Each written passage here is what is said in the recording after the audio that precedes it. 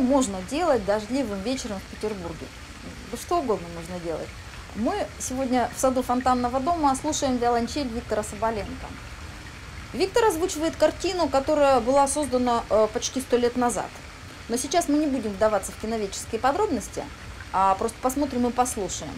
А потом пообщаемся с историком кино Евгением Маргалитом, который нам подробно все расскажет.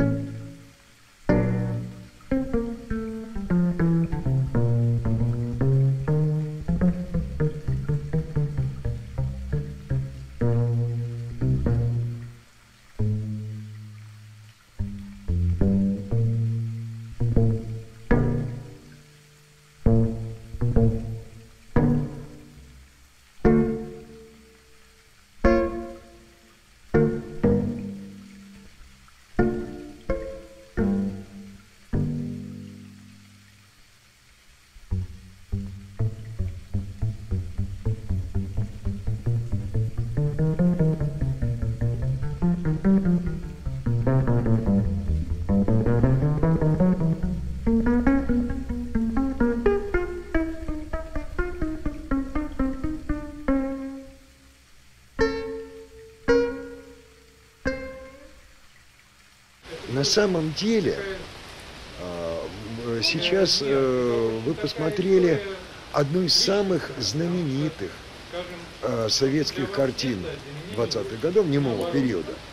э, картину, известную во всем мире, вызвавшую массу восторженных откликов. Ну, скажем, первая великая кинозвезда мирового кино Аста Нильсон сказала, что главная картина года – это «Дитя чужого», так она называлась. И в том и заключалась буквально катастрофа, э, что картина такого масштаба столько лет, а сколько? Ну вот с э, начала Второй э, Великой Отечественной войны считалась утраченной, утраченной навсегда. В чем дело? Почему она считалась утраченной? Это одна из самых трагических страниц истории нашего отечественного кино. Дело в том, что э, фонд Ленфильма и студии Белгоскина, поскольку она до 1938 года базировалась в Ленинграде, как вы знаете, он хранился в церкви, э, в одной церкви в Пушкине, в Царском селе. И во время э, войны туда попал снаряд. 80% снятого на Ленфильме э, и, Бел, э, Белгаскина в 20-е годы исчезло. 80%, думайтесь в это. Э, это колоссально. Да. Но нашлась она в аргентинском киноархиве. Причем 16-миллиметровая узкопленочная копия без одной части центральной, тоже многократно описана в. А, и поскольку э, это название русский фильм, Совкино, так называлось тогда студия, и московская, и ленинградская, пресса а, русский фильм «Дитя чужого». Кадры также легко узнать. Анна Стен, Геннадий Мичурин, Урсула Круг, который, собственно, нам заново Петр Алексеевич Багров, человек, который занимался э, с э, юности творчеством Червякова. Вот они с Юрием Гавриловичем Цивьяным, который э, тогда работал в Чикаго, они открыли, они э, получили, значит, фотографии с э, кадром этой ферки. Ну да, это мой сын.